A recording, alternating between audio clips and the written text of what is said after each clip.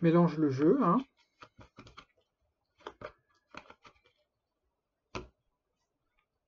Et je vais demander au dé de me deviner la carte qui est là.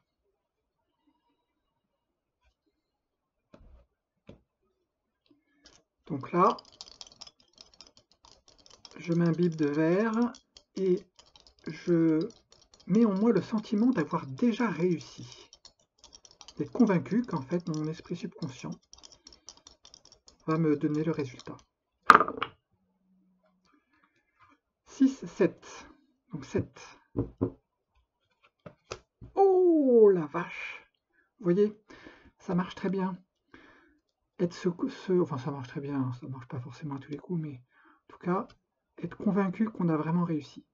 Vous voyez, c'est rigolo, hein J'ai pas rêvé, hein 6, 7, 7. Oh la vache Bon. Exercice, donc que des piques, la reine et le roi de cœur. Je mélange un peu. Je vais essayer de projeter mon esprit dans le futur pour trouver la carte qu'il y aura là dans quelques secondes.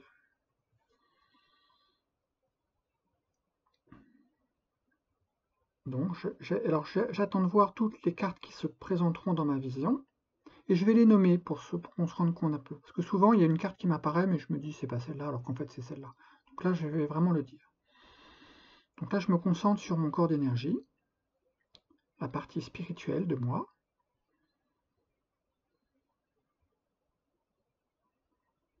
Là, je, m'imagine baigner d'une couleur verte.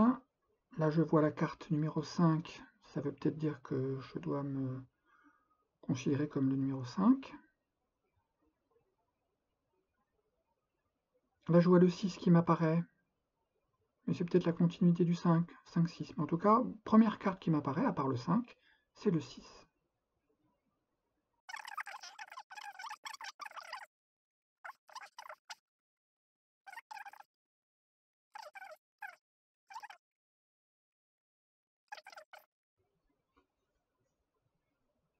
Donc la première vraie, sauf si, je mets de côté le 5, la première vraie c'est le 6.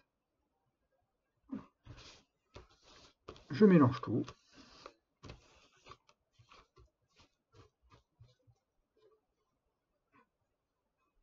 Voilà. Résultat des courses. Le 6, vous voyez?